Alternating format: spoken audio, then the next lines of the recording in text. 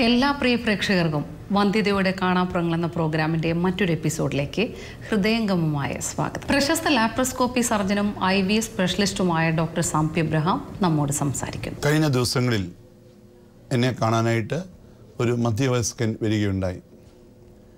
ലൈംഗിക കാര്യങ്ങളിൽ അദ്ദേഹം വളരെ തൽപ്പന്നായിരുന്നു ലൈംഗിക ജീവിതം അദ്ദേഹത്തിന് വലിയ ഒരാവേശമായിരുന്നു എന്നാൽ ഈയിടെയായിട്ട് ഒരു അൻപത് വയസ്സിന് ശേഷം ഇടയ്ക്കൊക്കെ അദ്ദേഹത്തിന് ലൈംഗികബന്ധത്തിൽ ഏർപ്പെടുമ്പോൾ തളർച്ച അനുഭവപ്പെടും. അത് അദ്ദേഹത്തെ മാനസികമായി തളർത്തുന്നു. അദ്ദേഹം ലഹരി ഉപയോഗിക്കുന്നില്ല പുകവലിയില്ല പ്രഷറിന് ഗുളി അദ്ദേഹം കഴിക്കുന്നുണ്ട്. ആ ഡോക്ടറുമായി അദ്ദേഹം ചർച്ച ചെയ്തു. അതുകൊണ്ടല്ല ഈ അവസ്ഥ എന്ന് അദ്ദേഹം മനസ്സിലാക്കി. അദ്ദേഹത്തിന്റെ ഒരു കുഞ്ഞിന് ശാരീരികമായിട്ടുള്ള ചില പ്രശ്നങ്ങളുണ്ട്.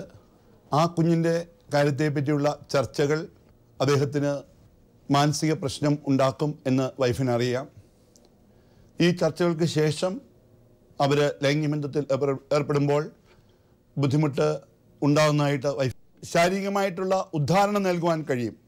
എന്നാൽ നമുക്കറിയാം ഒരു ഭക്ഷണം രുചികരമാകണമെന്നുണ്ടെങ്കിൽ അതിന് പല ചേരുവകൾ വേണം എന്ന് പറയുന്നത് പോലെ തന്നെ ഭാര്യയും ഭർത്താവും തമ്മിലുള്ള ലൈംഗിക ജീവിതം ആസ്വാദകരമാണെന്നുണ്ടെങ്കിൽ അവർക്ക് ലൈംഗിക അനുഭൂതി ലഭിക്കണമെന്നുണ്ടെങ്കിൽ പല കാര്യങ്ങൾ ഒരുമിച്ച് ചേരേണ്ടതായിട്ടുണ്ട്.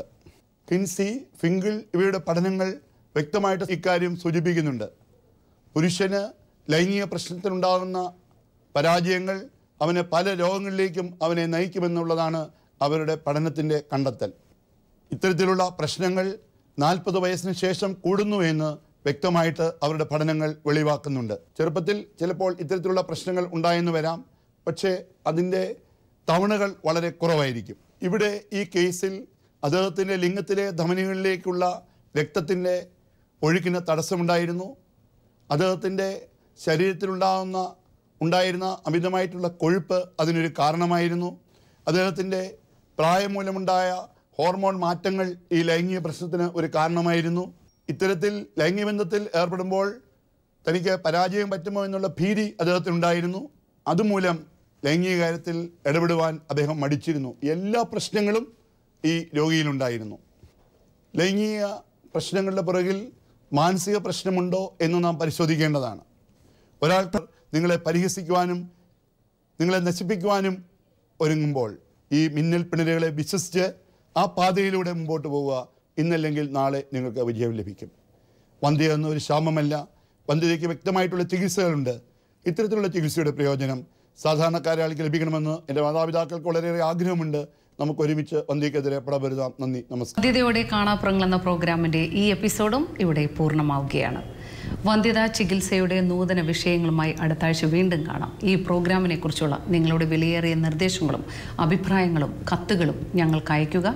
ഞങ്ങളുടെ വിലാസം Abraham's advanced infertility research centre three D laparoscopic four D ultrasound colposcopy ICSI with sexual research and health care unit near bishop palace Adakkat chambers Changanassery. Phone zero four eight one two four one zero three five six. mobile 97449 39925.